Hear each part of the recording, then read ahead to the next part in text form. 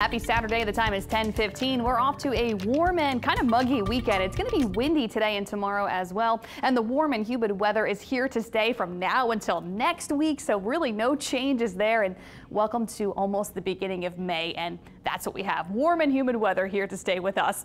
Getting into this weekend, we'll trend mostly dry, which is good news. A lot of stuff happening outside, of course. They're a classic Jazz Fest. Next chance for some showers and storms does come in Monday and Tuesday but we're tracking maybe a small chance for a shower tomorrow. Right now, temperatures in the upper 70s and at 80 degrees at the lakefront and at the airport in Kenner. We were just talking about our dew points in the upper 60s, so it feels humid outside. So our heat index coming into play right now.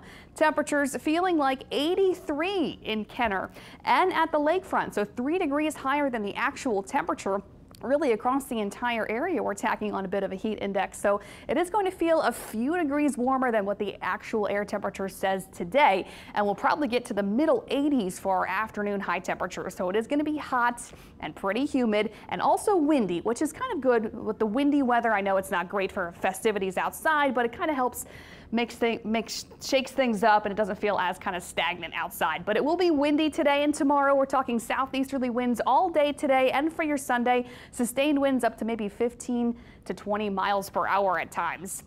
Also with the sunshine mixed in with the cloud cover, we're still talking a very high UV index for your Saturday. Make sure you wear that sunscreen, the sunglasses and the hats. Definitely a must today. Stay hydrated too since it will be hot and we're getting into that hot time of the year.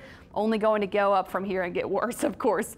Right now, here's a look at those winds across the area. Sustained at 20 miles per hour at the airport in Kenner gusting up to 26 miles per hour.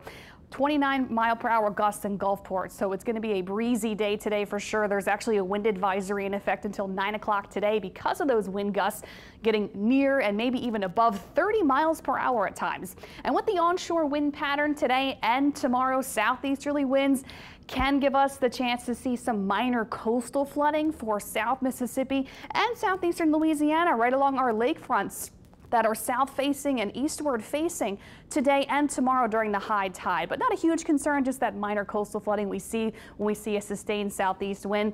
Gusts today can get above 30 miles per hour, breezy even during the evening hours, just not quite as windy getting into the overnight.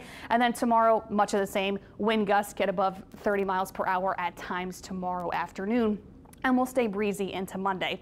I'm sure you probably heard about yesterday's crazy severe weather outbreak across the central and southern plains. They have another round of that today and tomorrow as two areas of low pressure right in line with each other. This was the one that brought all the stuff yesterday, darting off to the northeast now, then another one forming right behind it.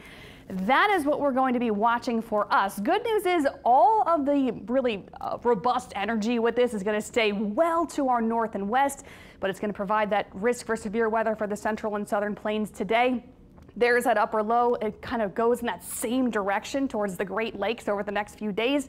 A much weaker trough associated with this comes in our direction Monday, Tuesday. That gives us a chance for some scattered showers and storms here locally Monday, Tuesday.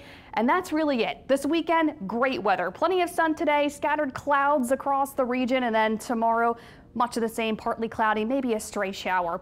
And then Monday, that's when the showers and storms move in from the west, much weaker. Don't really have to worry about anything substantial, but we'll have some scattered rain and storms across the area.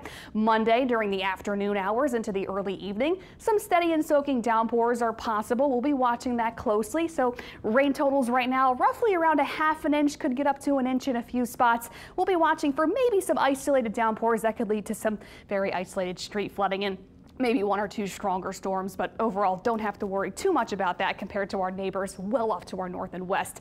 Seven day forecast is going to be hot and humid every day. Temperatures in the mid 80s. Best chance for rain and storms really coming Monday, Tuesday.